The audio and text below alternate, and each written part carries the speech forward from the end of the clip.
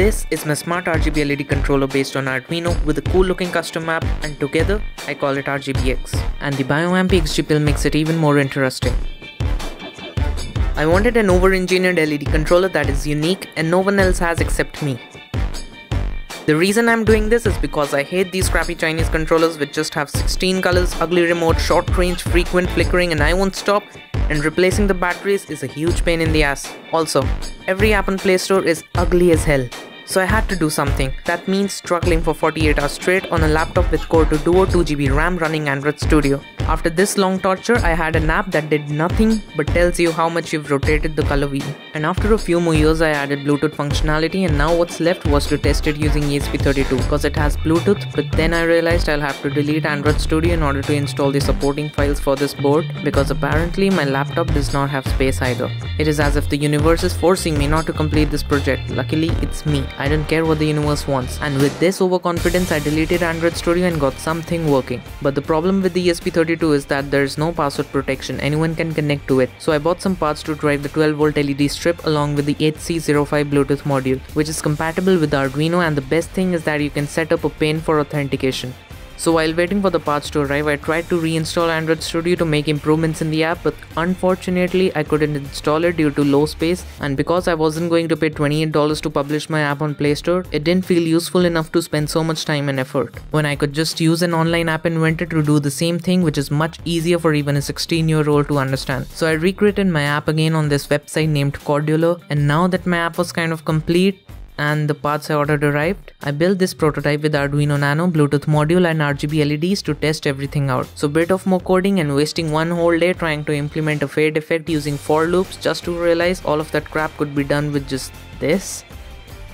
It was ready to be installed, but before moving on to the final thing, let me first explain how this works. So as you rotate the color wheel, the rotation in degrees, that is a value between 0 and 360 degree, is sent through the Bluetooth accompanied with a percentage and a hash symbol to mark the start and end of a single value. These values are then sent at precise intervals. This is where the first improvement over all other apps on Play Store kicks in. All those other apps send out values so fast that the microcontroller is flooded with a ton of values and what it receives is garbage. So I use timers to send the values precisely after every 80 milliseconds.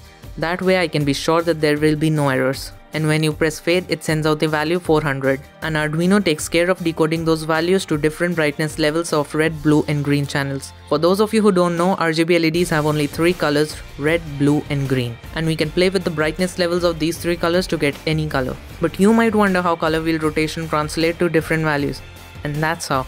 Even I don't get it. Well, who cares? We can figure it out on our own. At the very top we have red, so red is maximum. Then blue increases and then red decreases until blue becomes maximum and this pattern continues. Simple. But the way I implemented it in code was extremely naive and I wasn't satisfied with it so I came up with these graphs and all of these are just equations of straight lines. And now the code is much more understandable. With this improvement we can also have a control over the intensity. The only thing left now is to build the final circuit. In video it's as simple as this but it took me 6 hours soldering and breaking apart this bad quality board and finally putting it together on a breadboard. Let's plug this in and see how it looks. Connect the LEDs and 12 volt power and that's it. From now on it won't turn on in that irritating disco mode like the Chinese ones do. I also updated the app to take advantage of the brightness control and the mode button also tells you which mode you are on. And nothing is smart unless it has voice recognition, so I added that too. Change the color to red.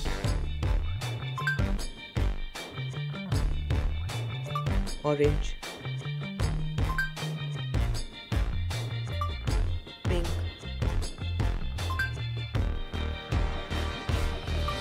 Green. Blue. purple.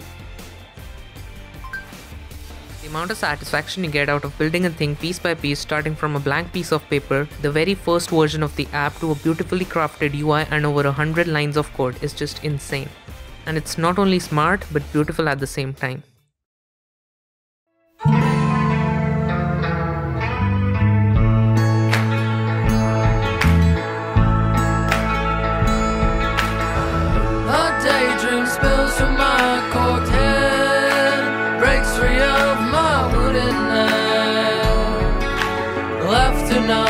Sleeping waves like bobbing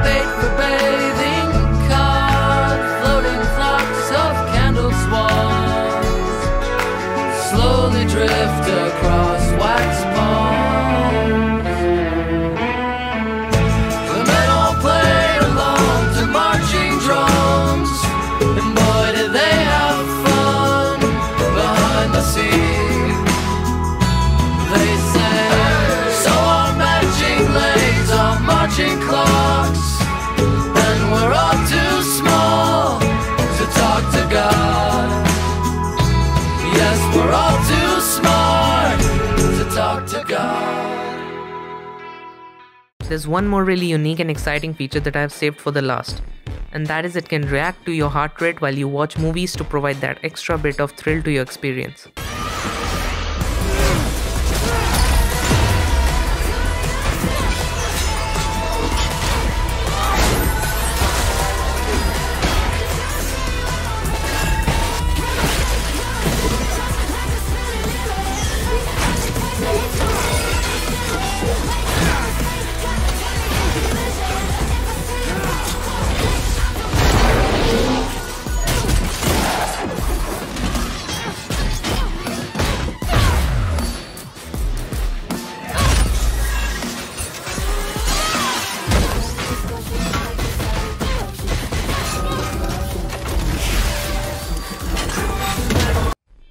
This was possible because of the BioAmp EXG pill, which was sent to me by Upside Down Labs, a Delhi based startup, and this tiny sensor can measure ECG, EMG, EOG, and EEG.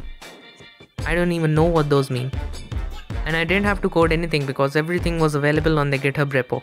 So that's it for now. I could definitely add more features to it. Let me know what new features you would like to see.